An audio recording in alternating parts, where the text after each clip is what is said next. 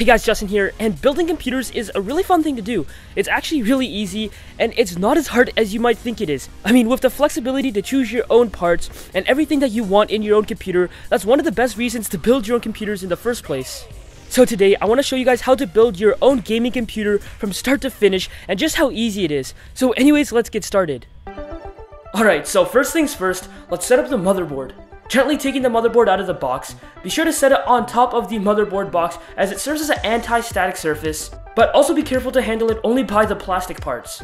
Now while all these slots and sockets might look a bit confusing, we'll go over that in a bit so don't worry.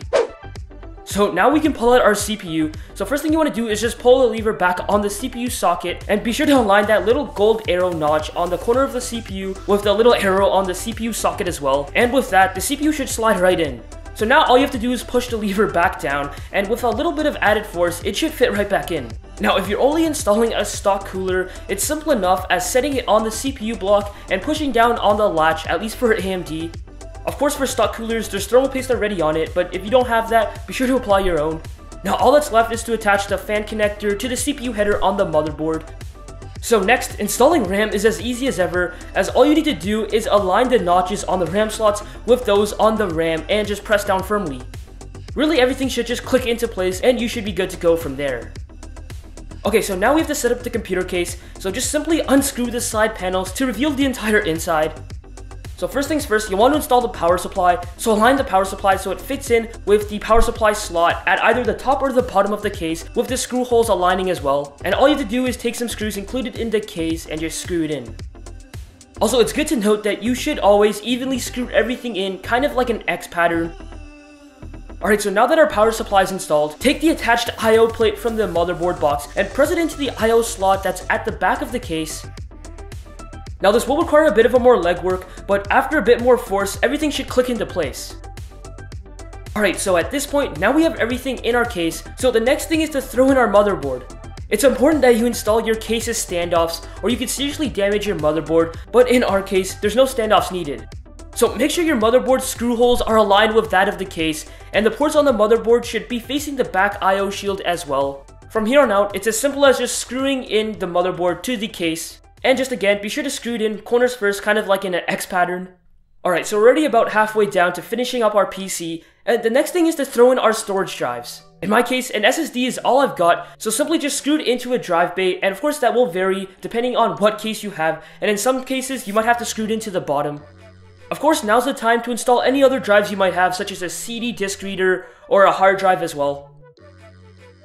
Alright, so now we're down to a bit of a more tedious part, wiring. And first, you're going to want to connect your 24-pin main connector from the power supply to the header on the motherboard.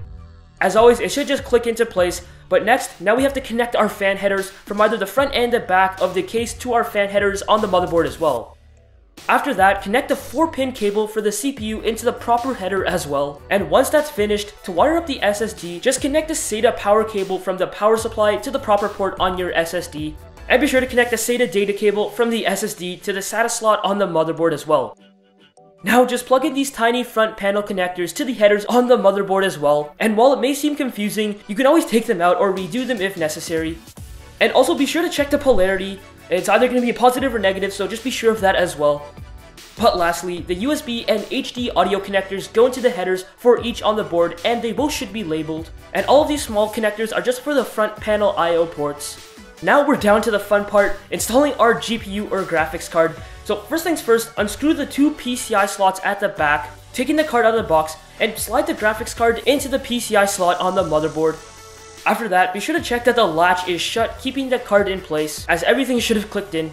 Now, depending on what card you have, you may need to connect another 4-pin power cable to the GPU as well so it gets that power to run. But finally, just screw the card back into place from the side, and that should be it. So really, we're just about done building the actual PC. So take the power cable that should be in your power supply box and hook it up into your power supply and into a wall plug.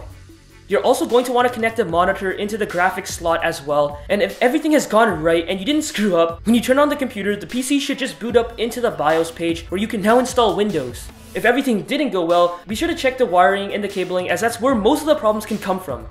Alright, so now that you're done building the actual PC, you're gonna want to take care of the cable management, which might seem like a hell to deal with, and I definitely recommend some zip ties as well.